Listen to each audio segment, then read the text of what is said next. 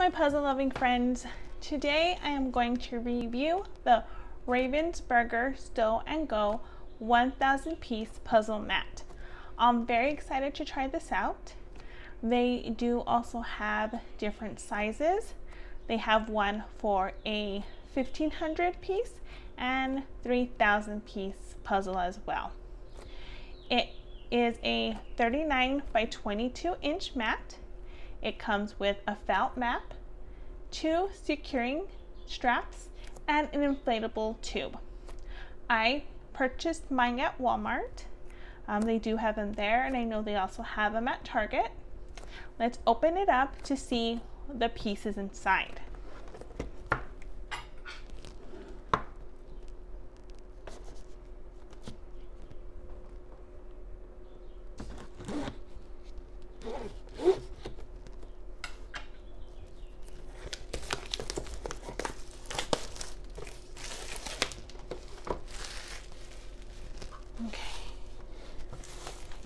Plastic.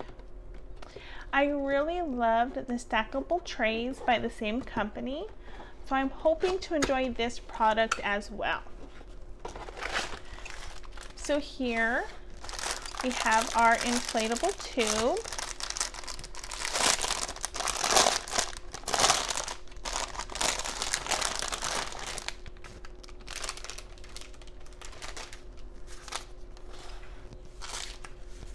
Here we go, our inflatable tube has the name of the company, Ravensburger, the valve to go ahead and inflate and deflate, and of course the warning regarding this product.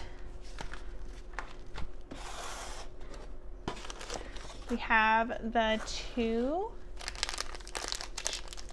securing straps. I can open it. There we go.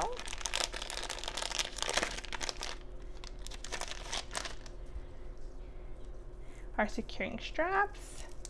They are fastened by Velcro, so easy to fasten and unfasten. And we do have two of these as well.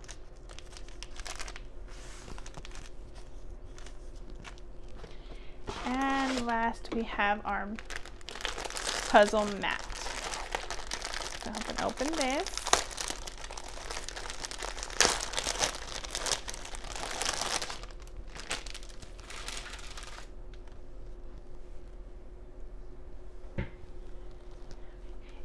Our puzzle mount, our puzzle, puzzle mat is felt.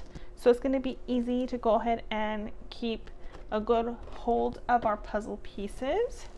Let's see the size of it. Let's put these to the side. And here we go. So if you see, it's actually very big mat. So, um, it should, like it did mention, hold a thousand piece puzzle. So I wasn't expecting it to be any smaller than this.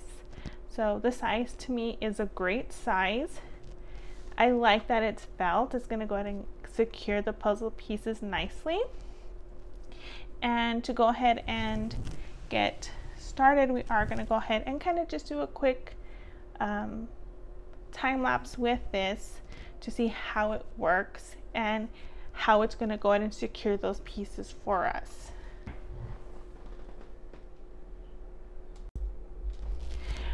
So we can go ahead and test out our puzzle mat. We are going to go ahead and test it out with our puzzle that is shaped like a fish, 502 pieces. This puzzle is from Seiko and I do like, I am excited about this puzzle because it is in different shapes, fish, dolphins, sharks, angelfish, shells, and hearts. So let's go ahead and get started. Working this puzzle with the mat was not as easy as I thought it was going to be. I was very excited to get started. While working, I've noticed the puzzle pieces aren't as smooth to move across the mat as it is while I'm working on my table. They would get kind of stuck, I wasn't able to move big pieces if I do one section. And that's one thing that I really didn't like about this. Um, I understand it is felt and you are going to go ahead and get that friction from the puzzle pieces and the mat. But I didn't really enjoy that. It was something I did not like. When I was rolling up the mat and I rolled it back out to go ahead and work on my puzzle again, the puzzle, some of them would move or they would kind of get unlatched. I know it's not a big deal, but it does take a few more like seconds, a minute or two to go ahead and fix your puzzle back up before you can start. I know this is a review just on the mat, but I just want to mention one thing about the puzzle itself that I'm working on.